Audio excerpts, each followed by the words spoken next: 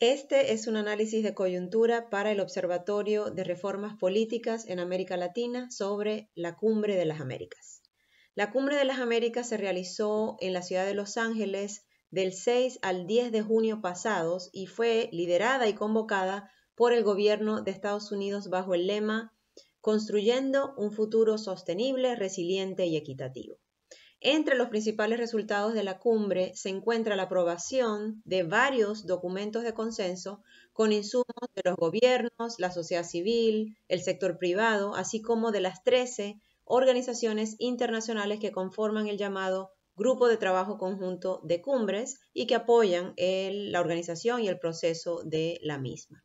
Estos documentos de consenso abordan temas clave en la agenda post-COVID para la región, entre ellos el tema de salud y resiliencia, el tema de, el tema de transformación digital, un tercer tema y documento de consenso vinculado a el tema de acelerar la transición justa hacia una energía limpia, sostenible y renovable.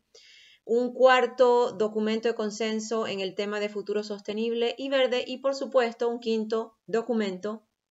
en el tema de gobernabilidad democrática. Este último es realmente un plan de acción, un plan de acción, y así se titula, Plan de Acción Interamericano sobre Gobernabilidad Democrática, cubriendo temas cruciales en materia democrática que incluyen desde estándares y principios para la celebración de elecciones democráticas hasta pasando, por ejemplo, temas de libertad de expresión, pasando eh, hasta eh, a temas vinculados a la inclusión y acceso a derechos de grupos en situación de vulnerabilidad.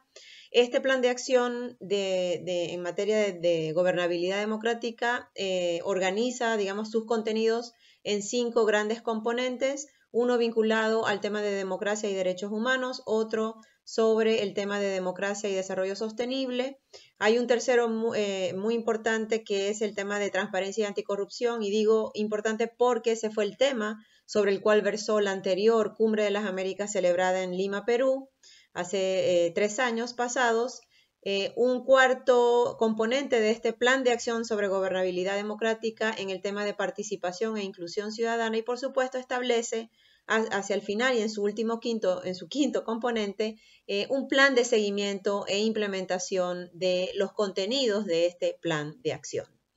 Importante también tener en el radar que la migración también fue tema central en la cumbre durante el evento, en realidad el último día del evento, 20 países de la región firmaron la Declaración de Los Ángeles sobre Migración y Protección, que busca un poco eh, que los países no hagan frente al tema de la migración de manera aislada, sino que lo hagan de una forma y bajo un principio y un enfoque de responsabilidad compartida, eh, estableciendo prioridades en los temas de migración regular, protección humanitaria y de emergencias, y en general el lograr promover una migración segura, ordenada, humana y regular.